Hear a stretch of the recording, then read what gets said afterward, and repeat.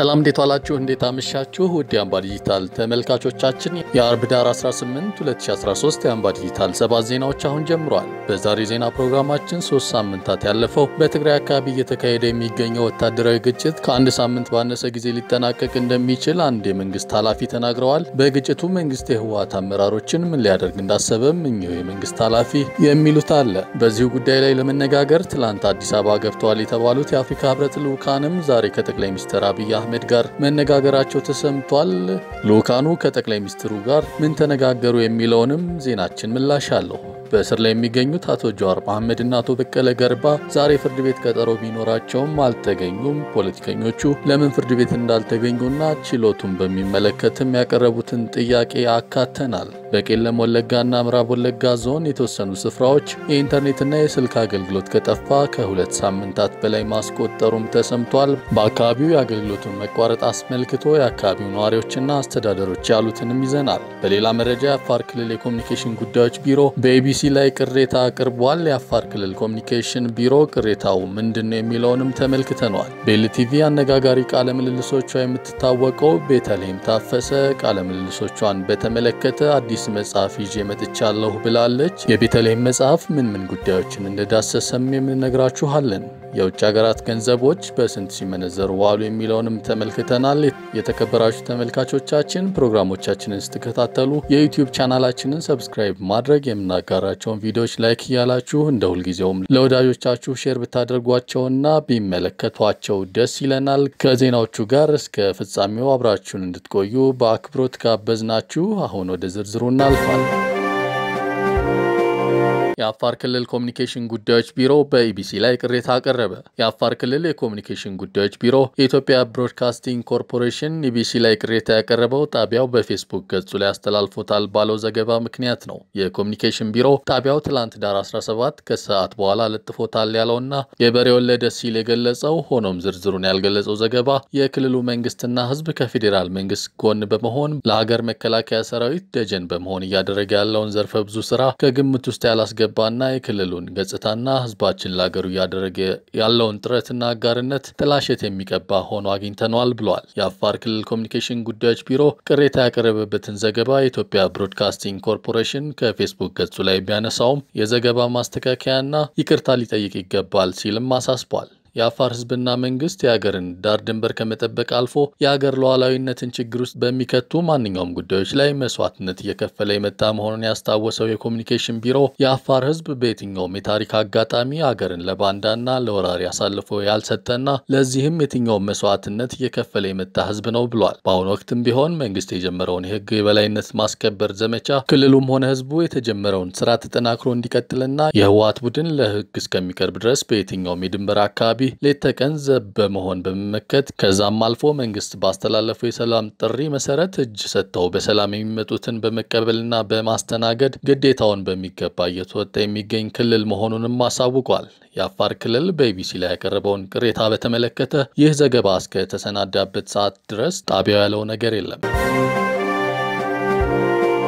የሀገር መከላከያ ሰራዊት በሳምንት ውስጥ መቀሌን ሊቆጣጠር እንደሚችል አቶ አህመድ ሺዴ ተናገሩ።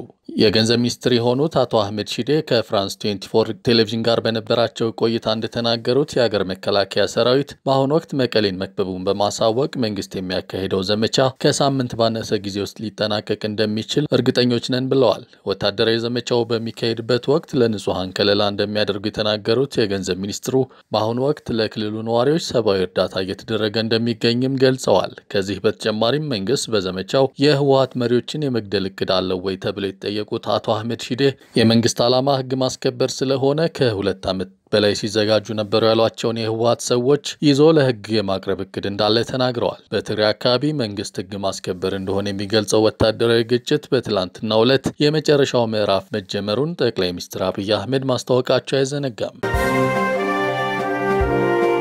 በመተከል ዞን በንጹሐን ላይ ጥቃት አድርሰዋል ያላቸው ላይ እርምጃ መውሰዱን የዞኑ ኮማንድ ፖስት አስታወቀ። በቤኒሻንጉል ጉሙዝ ክልል መተከል ዞን በንጹሐን ላይ ጥቃት አድርሰዋል ያላቸው 23 ግለሰቦች ላይ እርምጃ መውሰዱን ያስታወቀው በዞኑ የሚገኘው ኮማንድ ፖስት ግለሰቦቹ ከህወሓት ተልዕኮ ተቀብለው ሲንቀሳቀሱ ነበር ብሏል። በአካባቢው በሚገኘው የሀገር መከላከያ ሰራዊት፣ የፌዴራል ፖሊስና የክልሉ የጸጥታ አካላት ወስደውታል በተባለው እርምጃ የዞኑ ወረዳዎች በሆኑት ማንዱራ 17 በዳንጉር ሁለት በጉባ አራት ጸረ ሰላም የተባሉ ሰዎች ላይ እርምጃ መወሰዱን የተነገረው በቤኒሻንጉል ጉሙዝ ክልል መተከል ዞን በተደጋጋሚ በሚደርሱ ጥቃቶች በንጹሐን ላይ ግድያዎች እንደሚፈጸሙ ይታወቃል። የኢትዮጵያ ሰብአዊ መብት ኮሚሽን እንደገለጸው በዞኑ ለመጨረሻ ጊዜ በደረሰው ጥቃት 34 ንጹሐን ተገድለዋል።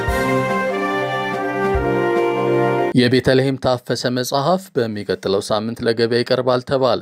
ከአየር ላይ በወረደው ኤልቲቪ ኤልቲቪ ሾው በሚለው ዝግጅት በቃለ ምልልስ አቅራቢነቷ የምትታወቀው ቤተልሔም ታፈሰ ያሰናዳችው መጽሐፍ ለንባብ ሊበቃ መሆኑ ተሰምቷል። መጽሐፉ የ show አቅራቢዋን የስራና የግል ሕይወቷን የተመለከቱ ማስታወሻዎች የሰፈሩበት ነው ተብሏል። እኔና የኤልቲቪ ሚስጥሮች የተሰኘ ርዕስ የተሰጠው መጽሐፍ በአሁኑ ወቅት በማተሚያ ቤት እንደሚገኝ የተነገረ ሲሆን በቀጣይ ሳምንት መጀመሪያ ለገበያ ይቀርባል። በመጽሐፉ ቤተልሔም በቃለ ምልልስ ወቅት ያገኘቻቸው እውቅ ሰዎች ለቃለ ምልልስ ከመጋበዝ ጀምሮ ምን እንደተፈጠረና ከስቱዲዮ ውጭ ያሉ ጉዳዮችን ለመዳሰስ መሞከሯን ኢትዮጵያ ኢንሳይደር ለተባለ ድረገጽ ተናግራለች።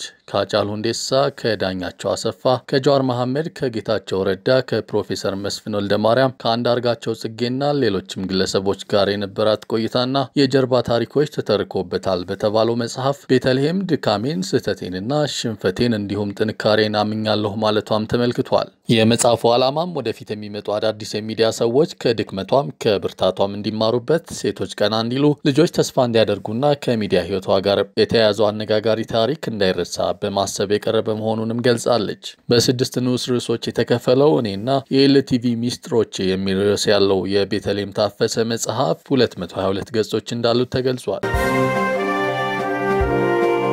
አቶ ጀዋር መሐመድና አቶ በቀለ ገርባ በሚገኙበት አካባቢ ተለዋጭ ችሎት እንዲቋቋምላቸው ጠየቁ። ሁለቱ ፖለቲከኞች በትላንትናው ዕለት ለፌዴራል ከፍተኛ ፍርድ ቤት የልደታ ምድብ ችሎት እንዳመለከቱት ከተከሰሱበት ጉዳይ አወዛጋቢነትና በአገሪቱ ፖለቲካ ካላቸው ሚና አንጻር ለማንኛውም ጥቃት ተጋላጭ እንደሆኑ እንደሚያምኑና ከሚገኙበት እስር ቤት ጉዳያቸው እስከሚታይበት ልደታ ድረስ ያለው የተጨናነቀ መንገድም ተጋላጭነታቸውን ይበልጥ ከፍ እንደሚያደርገው ገልጸዋል። ጨምረውም በጉዞ ላይ ሊደርስብን ይችላል ያሉት የጥቃት ሙከራ አሁን ካለው የአገሪቱ ፖለቲካ ትኩሳት ጋር ተደምሮ አገሪቱን ወደ ከፋ ቀውስ ሊወስዳት ይችላል ሲሉ ስጋታቸውን አጋርተዋል። ምንም እንኳን የተፋጠነ ፍርድ ለማግኘት የሚሹ ቢሆንም ለአጠቃላይ ደህንነት ሲሉ በችሎት መገኘት እንደማይችሉ ያሳወቁት ፖለቲከኞቹ ይህንኑ ተከትሎም በዛሬው ዕለት በነበራቸው ቀጠሮም አለመገኘታቸው ተሰምቷል። ለወደፊቱም በሚገኙበት አካባቢ ተለዋጭ ችሎት ይቋቋምልን ሲሉ ጠይቀዋል። የፖለቲከኞቹን ጉዳይ የሚመለከተው ችሎት በጉዳዩ ላይ ከበላይ አካላት ጋር ተነጋግሮ ውሳኔ ለመስጠት ለታህሳስ 8 2013 ተለዋጭ ቀጠሮ መስጠቱን ጠበቃቸው ለሚዲያዎች ተናግረዋል። አቶ ጀዋር መሐመድና አቶ በቀለ ገርባ ባለፉት ሁለት ቀጠሮች በተያዙ ንብረቶቻቸው ላይ ከአቃቤ ሕግ ጋር የሚያደርጉት ክርክር ላይ በችሎት አለመገኘታቸው መነገሩ የሚታወስ ነው። በቄለም ወረዳና ምዕራብ ወለጋ ዞን የተወሰኑ ስፍራዎች የኢንተርኔትና የስልክ አገልግሎት ከጠፋ ከሁለት ሳምንት በላይ ማስቆጠሩ ተነገረ።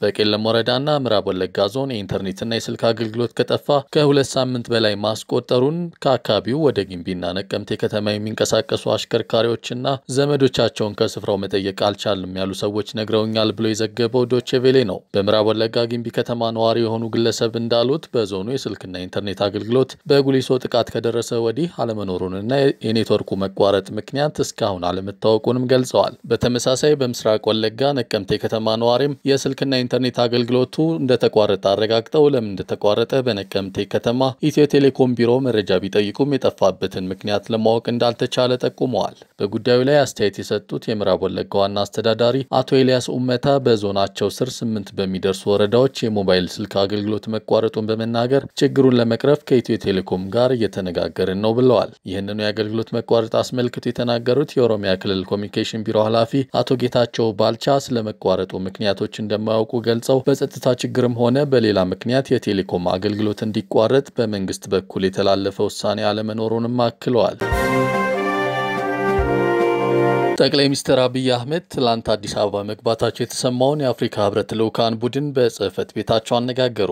በኢትዮጵያ ለተፈጠረው ግጭት በወቅቱ የአፍሪካ ህብረት ሊቀመንበርና የደቡብ አፍሪካ ፕሬዚዳንት ሲሪል ራማፎዛ የተላኩት የቀድሞ የላይቤሪያ ፕሬዚዳንት ኤለን ጆንሰን ሰርሊፍ፣ የቀድሞ የሞዛምቢክ ፕሬዚዳንት ጆዋኪም ቺሳኖና የቀድሞ የደቡብ አፍሪካ ፕሬዚዳንት ካሌማ ሞትላንቴን ተቀብለው ያነጋገሩት ጠቅላይ ሚኒስትር አብይ በትግራይ ስለሚደረገው የህግ ማስከበር አስረድተዋል ተብሏል። ጠቅላይ ሚኒስትር አብይ መንግስት የህወሓትን ጠብ አጫሪነት ለረዥም ጊዜያት መታገሱን አስታውሰው በመከላከያ የሰሜን እዝ ላይ የተቀነባበረ ጥቃት በማድረስ ሀገር በመካዱ የፌዴራል መንግስት የሀገሪቱን ህገ መንግስታዊ ደህንነት ለመከላከል ሲል ወደ እርምጃ እንዲገባ አድርጎታል ማለታቸውንም የጠቅላይ ሚኒስትር ጽህፈት ቤት አሳውቋል። በተጨማሪም የህወሓት ቡድንና በማይካድራ ዘግናኝ የሰብአዊ መብት ጥሰት የፈጸሙ ግለሰቦች ወደ ህግ ፊት መቅረብ እንዳለባቸው ለአፍሪካ ህብረት ልዑካን በአጽንኦት መናገራቸውም ተሰምቷል። በትግራይ አካባቢ ያለው ግጭት እንዲቆም የተለያዩ አካላት እየጠየቁ ቢገኝም ግጭቱ ቀጥሎ ሶስት ሳምንታትን ተሻግሯል። ዜናዎቹን ከማጠናቀቃችን በፊት የዕለቱን የብር ምንዛሬ ውሎ እንንገራችሁ። በዛሬው ዕለት አንድ የአሜሪካን ዶላር በ38 ብር ከ3 ሳንቲም ተገዝቶ በ38 ብር ከ79 ሳንቲም ሲሸጥ ውሏል። አንድ ዩሮ በ45 ብር ከ28 ሳንቲም ሲገዛ በ46 ብር ከ18 ሳንቲም ተሽጧል። የእንግሊዝ ፓውንድ በበኩሉ በ48 ብር ከ50 ሳንቲም ተገዝቶ በ49 ብር ከ47 ሳንቲም ሲሸጥ ነበር። አንድ የተባበሩት አረብ ኤምሬት ዲርሃም መግዣው 9 ብር ከ37 ሳንቲም መሸጫው ደግሞ 9 ብር ከ56 ሳንቲም ነበር። የሳውዲ ሪያል በ9 ብር ከ18 ሳንቲም ተገዝቶ በ9 ብር ከ36 ሳንቲም ሲሸጥ መዋሉን ተመልክተናል። ውድ አምባ ዲጂታል ተመልካቾቻችን የነገርናችሁ የብር ምንዛሬ ውሎ መደበኛ ባልሆነ መንገድ ማለትም በጥቁር ገበያ የሚካሄደውን አያካትትም። የዛሬው አምባ ዲጂታል ዜናዎች በዚሁ ተጠናቀዋል። ስለተከታተላችሁን እናመሰግናለን። ነገ በተመሳሳይ እስክንገናኝ ድረስ በሰላም ቆዩ።